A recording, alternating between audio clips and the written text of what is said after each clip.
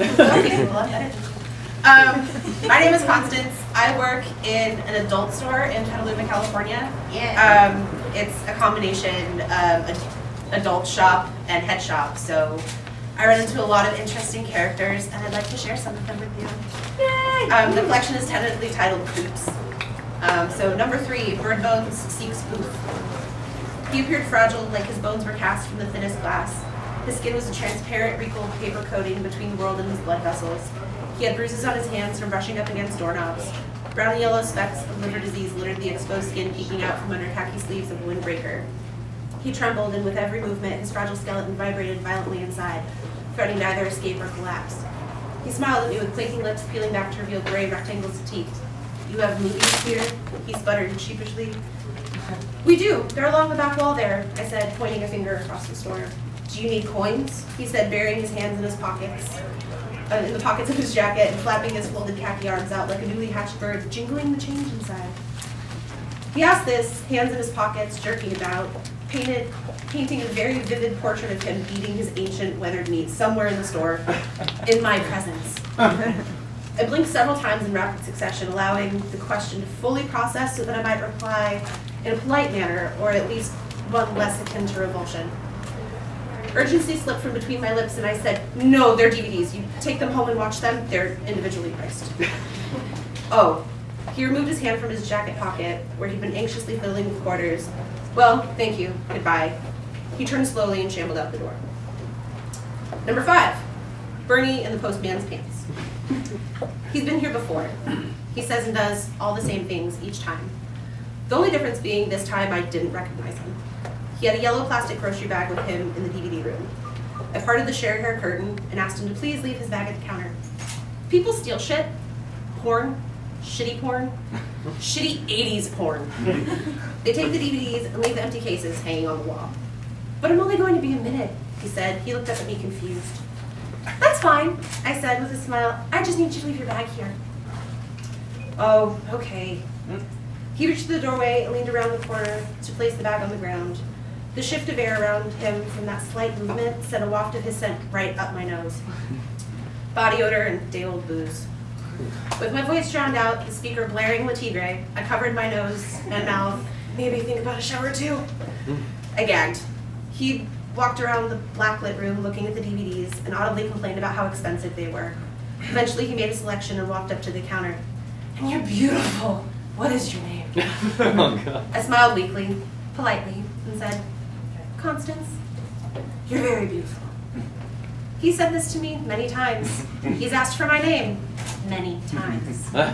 I am distracted by his odor. Constantly beautiful. He's made this joke before. I smile, put his new copy of Asian Hose in a black plastic bag, and handed it to him. Have a nice day, I say, feigning cheer. You too, beautiful. He said this as he blew a stale, booze-scented kiss to me over the counter. My friend Jill walked through the door shortly after he left. Some weird old guy stopped me outside and told me I was beautiful. Number one, the mailman. His Bob Ross white man's afro was puffed out all over his head like filthy cotton candy that had been dropped on the floor of your local cinema, dug out of a dumpster out back, and fitted over his kind-looking yet untrustworthy face. Hmm.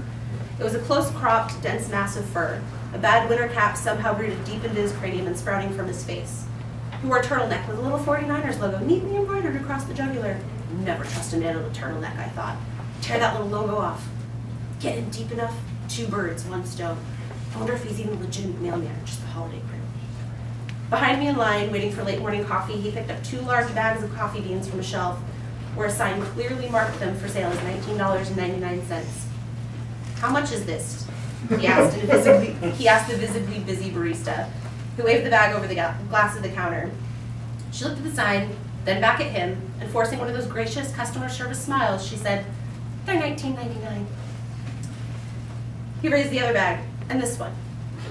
She smiled lightly. $19.99. She said it discreetly, enunciating each syllable. He mumbled some response. I'm not sure what, because I've already judged him as somebody who just liked to talk, make waves, and waste your time as well as his own. Maybe he was just waiting for this day to end like me. He had come into the shop a week before, all smiles and feigning friendly concern. He greeted me loudly with the hello as he opened the door, not even a foot in the building. I scrambled out of my cozy hiding spot in the dressing room and greeted him at the counter. I, he started to say, but I was higher than the devil, and I cut him off, rambling out on about how the package left for the tattoo shop next door.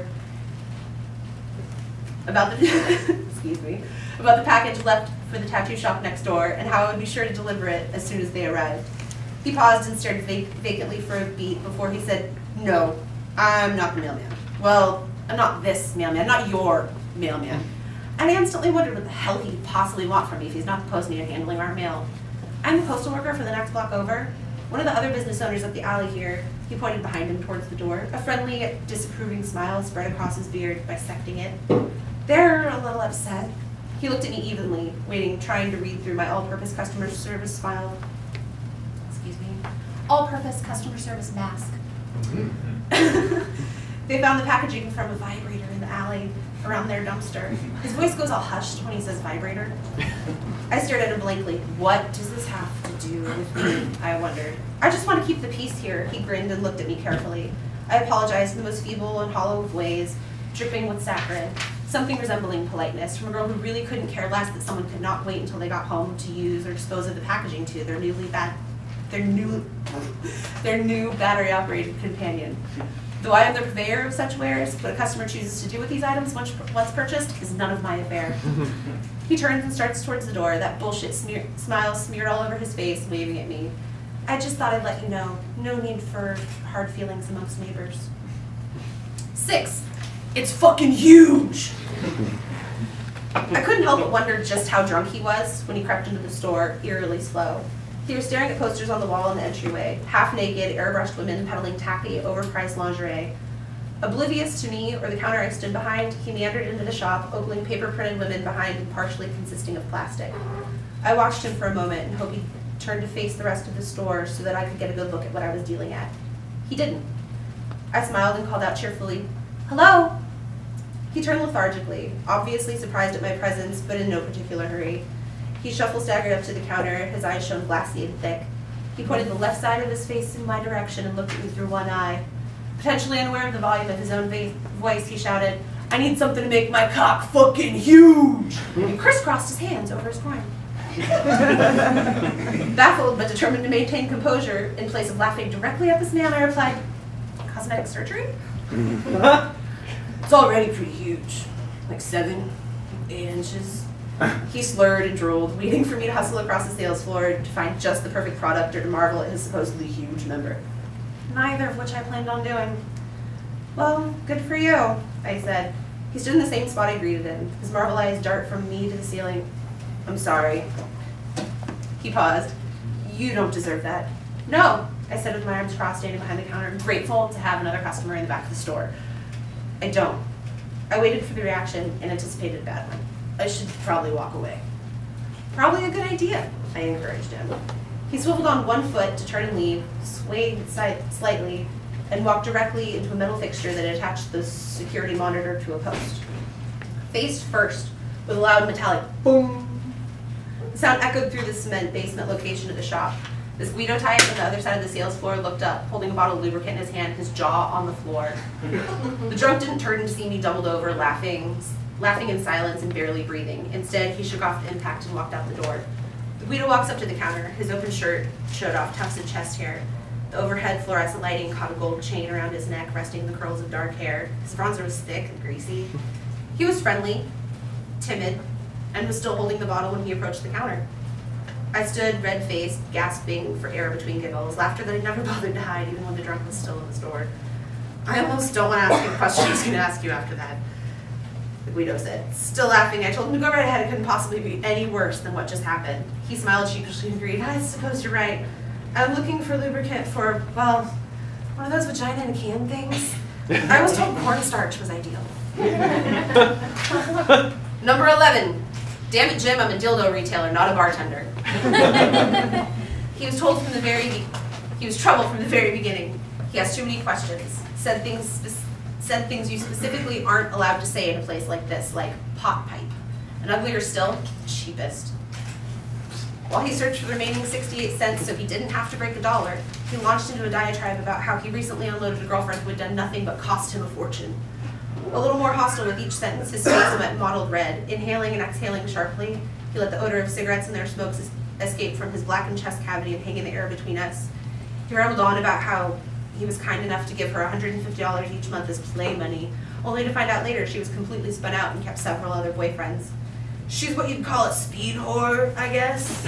And as we're having it out, her pimp daddy, I guess is what you'd call him, is standing right there. And she doesn't understand why she doesn't get her allowance. I gave the most benign responses in a still sympathetic tone, a kind of glorified sigh. I just can't help myself sometimes. He walked out the door, still raving, his hands violently striking the air in front of his well-worn face.